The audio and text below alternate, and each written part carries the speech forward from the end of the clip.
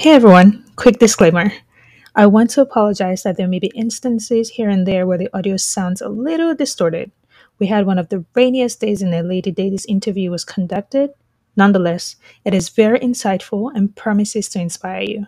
Let's listen.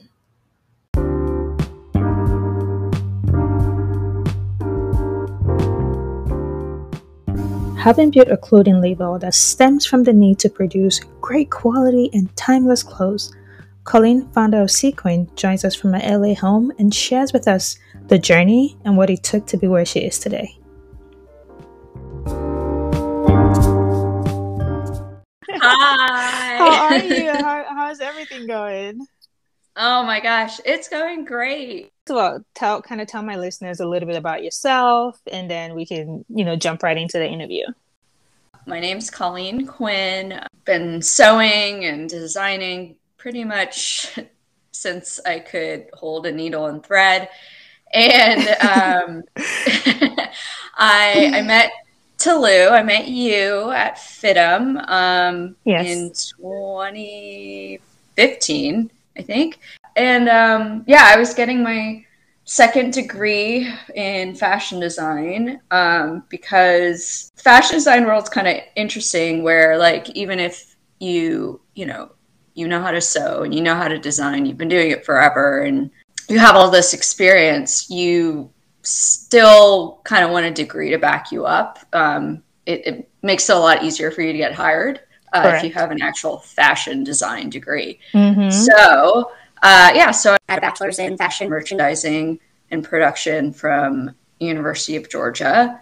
And wow yeah, I got the professional designation degree in fashion design at FIDM with you. Uh, then after that, I worked for a few designers back in Atlanta. I was head of design wow. production. I want to get into that a little bit more um, down the line, okay. but um, I just wanted us to like you know get a feel for like who we're listening to this week because oh, um, okay. this podcast is about like you know sharing knowledge and like information about what it means to actually own your own brand working in the fashion industry. So where do you think like the passion for being in this industry where do you think it started from? When did you realize that you wanted to pursue a degree in fashion or a career in fashion design? Oh my gosh. Um i think the first time like i i really had a hunger for it and was like this i'm gonna do it. I'm gonna make it happen. I think i was about 15 i mean this is a very silly story but i, I was watching project runway. While watching it was literally had my mannequin and was draping and making my dresses for high school dances. And i was like wow. Man if i could do this forever i think i would be the happiest person in the world and then I was like, okay, let's make this happen. How do we do this? And researching how how designers like where what where they start, how they get where they are, what kind of commitment they have to put in, like just so mm-hmm. I like I could prepare myself for you right, know like right the sleepless nights and you know lots of hard work. Um, so yeah, that's that's kind of when I I started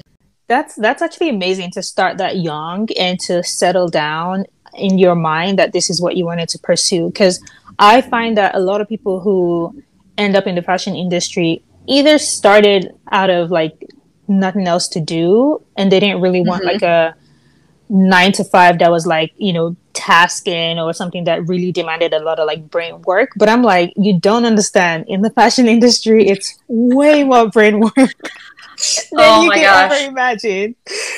So talk a little bit about You're that. So talk right. a little bit about the the challenges of what it means to actually, you know, be in this industry. Not even getting into like the most, you know, complex details because not everyone understands the fashion language. But talk about right. just the amount of like work it takes, like the ethics and you know discipline and principles you have to like have um, to be in this industry.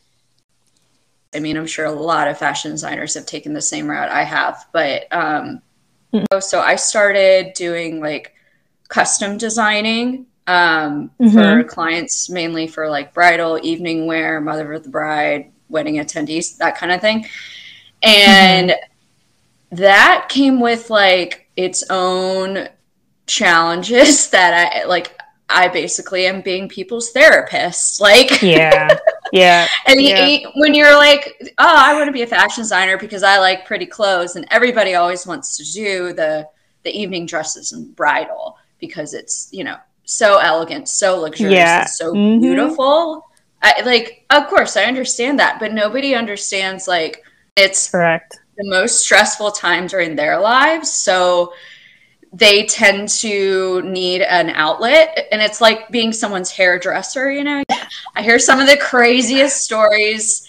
And then Right. it's a lot of like, no, you look incredible. Like, like, yeah, don't, no, you don't have back fat, like that kind of a thing Right, right. oh my god, yes. and then a lot of times like um, people would come to me and be like oh my wedding is in three months can you make me a dress i'm like um, how do okay i always try to approach it from not like no i can't do it but like okay how can we make this happen some some of the complications and things like you never expect are like travel or Yeah. um like you you know i only have t- 24 hours with this person so i need to Yeah. fit in two fittings. Mhm. so okay i'm not going to be sleeping. That's fine. Yeah, um yeah so it's just it's that. And then also like if you're running your own business you do have money for your own like accountants and social media managers and all that. That's great. A lot of times you don't have money for that. So Mhm. i'm like yeah, teaching myself accounting and how how do I do taxes and um, do I need to get an LLC and you know like just business end of things that like you're not necessarily taught in school um, unless you go to business school, um, Correct. which I would I would recommend. I kind of also want to piggyback off something you said, um, which is Uh-huh. it's different from what you learn in school because, like, like you said at the beginning, we met in college, and when we went to FIDM, uh, fa- which is Fashion Institute of Design and Merchandising, we had our campus in Los Angeles. Uh, they also have a campus in San Diego, I believe. I think those are the only two Yeah. campuses I'm aware about. I don't know if they have other places. Do you think they have other places, Colleen? Yeah, I think they. Oh, when we went, I knew they had one in um, Orange County, and Gotcha. I th- and I think they had one in San Francisco, but that I don't know if that one Gotcha. Still operating. Okay. Well, we went to the one in LA, downtown LA, and yeah, Mhm. would I feel like it's so real when you say the experiences in the industry are completely not the same as what we learned in class. I feel like class was so textbook based and teaching some techniques. Um, we did the crash course, which was um, crashing like I don't probably like four years of program into like what two years and we were done, or a year and a half and we were done. Um, in your case, what was that? In my case, I, I was crazy and I did it in a year because I didn't want to pay rent for more than a year in LA. Right, right, right. That's true. yeah. I did it for a year and six months. Yeah, I You mean, did it for a you year. guys did it the smart. No, you guys did it the smart way. Like everybody else in my in the program, I think it was like what ten of us, and yeah. we all we all became like really close, and Yeah. we're all older. And I don't want to be in school And- again. I know, I know, but we got to do this. We got to get through. And we all were like, Yeah. yeah, we were, we were like, yeah, um, yeah. And so I, not being from LA, probably one of the dumbest decisions I ever did. I, I, I think it was actually honestly like I still I was kind of amazed as to how you were even able to like cope because I even felt like in the year and a half that we crashed the, the classes, it was a lot. So I can't even imagine like how much less sleep you got than we got, and we were complaining the whole time. So I can't even imagine like if Oh, you literally realistically got any sleep the entire Um, year that you were in, in college. I have to say that last quarter, all together, 10 weeks straight, I actually averaged four hours of sleep a night for 10 weeks straight. oh my god, that is and- insane. I mean, I pulled three all nighters in a week. Yeah, Yeah. I remember in class, uh, Miss Manukian getting up and I was draping and literally falling asleep. And Stacy, Yeah. another amazing woman in our program, she like caught me. I feel like it, I feel like FIDM kind of like gave me some of the best group of friends. Like we've remained friends literally since we met during orientation till today. Mm-hmm. Like we have our group mm-hmm. chat, we're all still talking. Uh, we have somebody who works in, you know, the bridal industry. We have somebody who designs for um, foreign brands, like helps them, like you know, work on their production here in from the US and like sends them their sketches and stuff. We have you, you have your own brand. We have Stacy, she does jewelry. We're actually gonna get Stacy um, on on our podcast sometime soon when we can work out his schedule. And then we have Omar. He's into fittings. He's a stylist at the Star. Um, and mm-hmm. then I mm-hmm. also work in bridal. I do ready to wear. I work with photographers. So it's been like it's it's solidified our friendship because we all knew what we wanted out of life when we went to school, and we I feel like we chose our group really pretty early. Like I don't think we wasted time in becoming a clique. Yeah.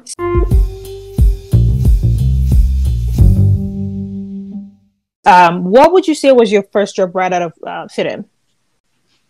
My first job, they were making a shirt, uh, like a compression mm-hmm. workout shirt, like kind of like Under Armour, and it had mm-hmm. sensors knitted into it that could like sense pulses, and it would send that info through the sensors in the shirt to like a hub to an app on your phone, so you could see like, wow, I'm going 80% on my biceps right now, you know, that kind of thing. That's amazing.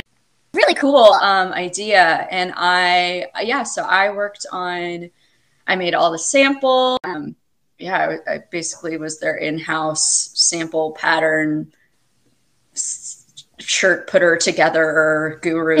shirt putter. shirt putter yeah. together. I've never heard it. Yeah. It's a technical industry term. Uh, yeah, like I mean, it was crazy because like it had literal wires in the shirt, so I was using wow. like an ultrasonic welding machine. Like I had to teach myself how to use that, and I had I was never gonna say, how did you know how to do that? Because we've never done that uh, in school. I don't remember us welding anything in class.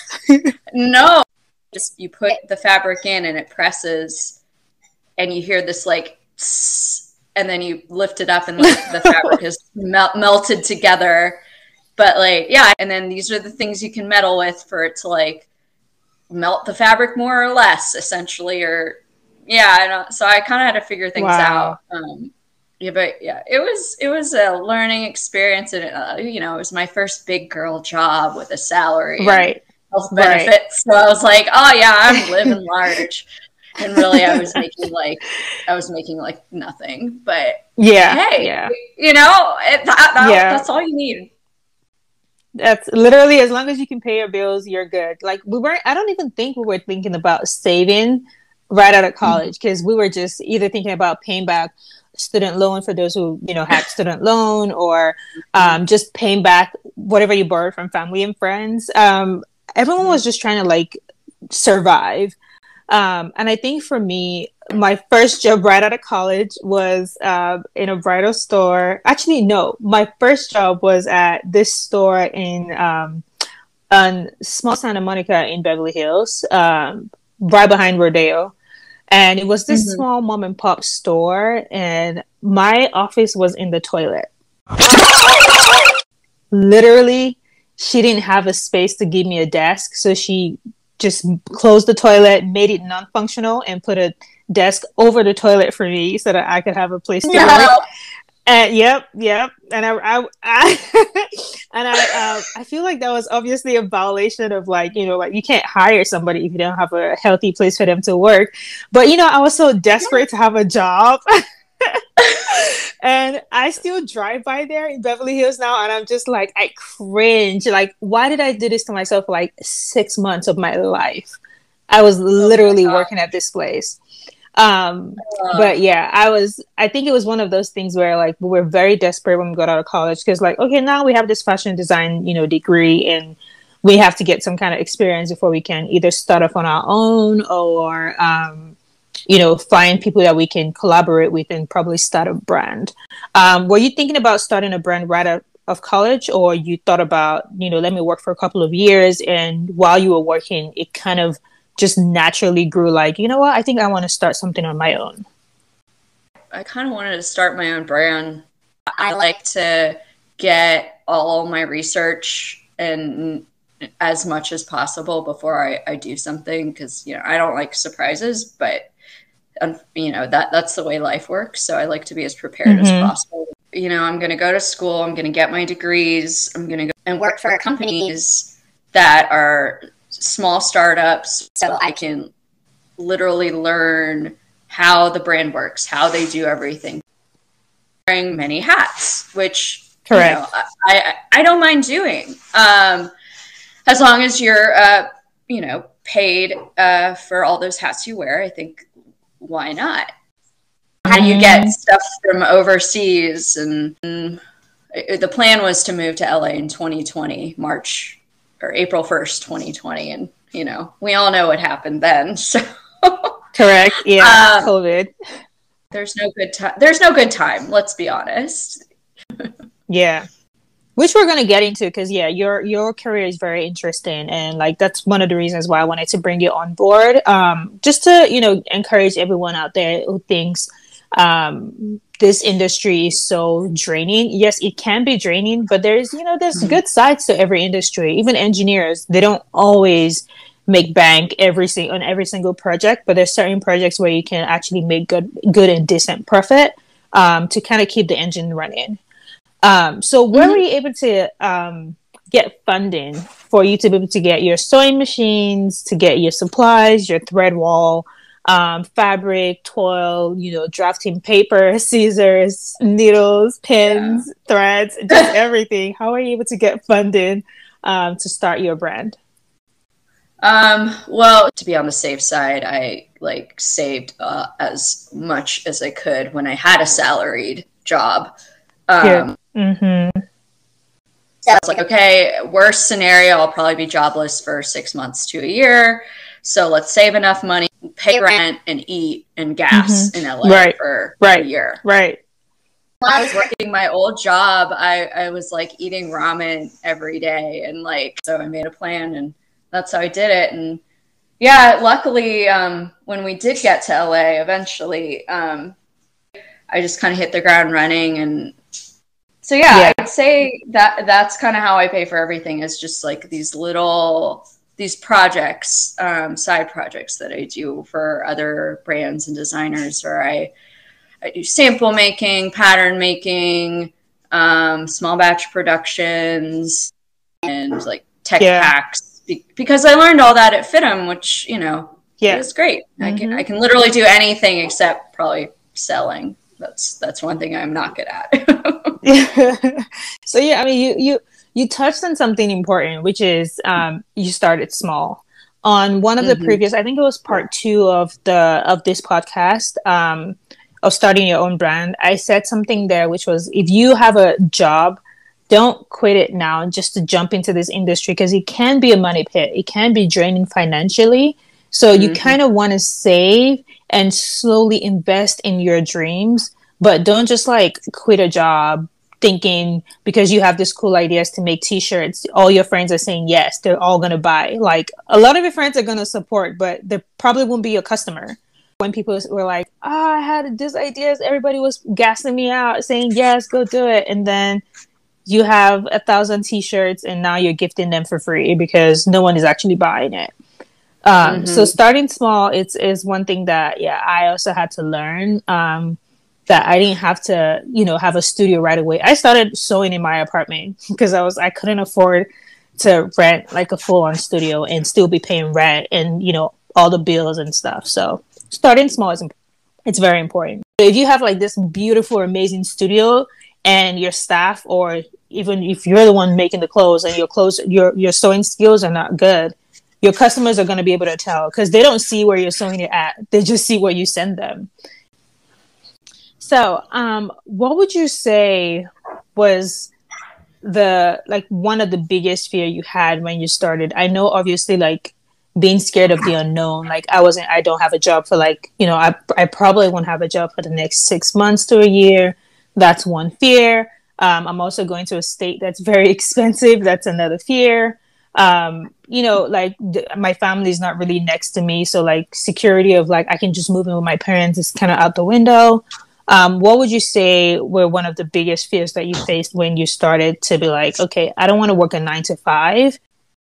My biggest fear I mean, obviously, like just just making rent because that that is probably my biggest cost in LA. I was reading about it in the news, and like the fashion industry as of last year, 2022, was worth over 1.7 trillion dollars. So what? we even have the same taste. Yes. So if we even have the same taste, there is absolutely no way that we're like hurting each other. Instead, we're helping each other to make something from 1.7 trillion dollars worth of, you know, just money floating around in the in the world. So yes. yeah, it's it's insane. It's insane.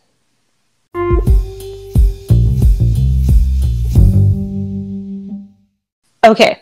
Um, when you started, did you find that you needed to get mentors? Because I've had people ask me questions. I have some um, current FIDM students um, who would like reach out to me like, "Hey, I saw in your bio that you went to FIDM. Um, you know, do you want to mentor me? Um, what What do you think is the importance of having a mentor in the industry, and do you even think they're actually necessary? I think it's important to have other like business owners that you know and like work with. You're at that level. How did you do it? Like that's really right. important. Um, one of my life coaches, um, Dharius Daniels, he said, um, I'm just paraphrasing, but he said, um, don't look for a mentor who you just like is famous and everybody knows about this person. Like, oh my God, you should mentor with that person. It said, no, look for someone whose current lifestyle you want to kind of adopt not necessarily like yeah. copy, but you want to adopt certain things from their life that you think is really helpful. Like it could be their work ethic, it could be how they manage the company, it could be how they've been able to take fifty dollars to turn it into a fifty thousand dollars within a year small business, or take a five thousand dollar and turn it into a five hundred thousand dollar business. Um, so he he was kind of the one who shifted my mindset when it came to looking for a mentor um, as opposed to looking for, for someone who is famous who may not even really have your time because if they're famous chances are everybody wants them but if you found somebody mm-hmm. who was you know very humble they have their successful business in your city or even like you know globally um, and you have access to that person um, i think it's it's important to find people that you think what they're doing is very important not just necessarily the clout of how loud they are and they put it in your resume like oh i interned with Chanel. Like, no, I think it's it's very important. If you intern at Chanel, hey, I'm not knocking down your your hustle. I'm just saying that, um, yeah, like no. like like you said, you may be bidding for 12 hours a day and that's like not necessarily unless you want to just be a bid expert that's not necessarily you learning a lot of things. Yeah but if you work with like a smaller business it's easier for you to see the ins and out like taking purchase orders you know fulfilling an order. If you how do you handle returns? How do you handle you know getting the tags the label the shipping bags you know just the entire process of what goes into owning your business, it's easier to learn when you learn with someone who is a you know smaller scale um, than a mega company. Yeah, I told you when I moved here to LA, I started doing a lot of work with designers, kind of doing anything and everything. Added another um, kind of wing to my brand, so I started a uh, women's business casual line started very small and I just have five styles and three colorways for each style, except for 2 mm-hmm. of them. And yeah, that's what I'm doing now. So, how do you select fabrics? Do you buy dead stock? Do you um, custom make your own prints? Do you use solids? Like, how, how does that work for you? Dead stock. Where do you go for inspiration?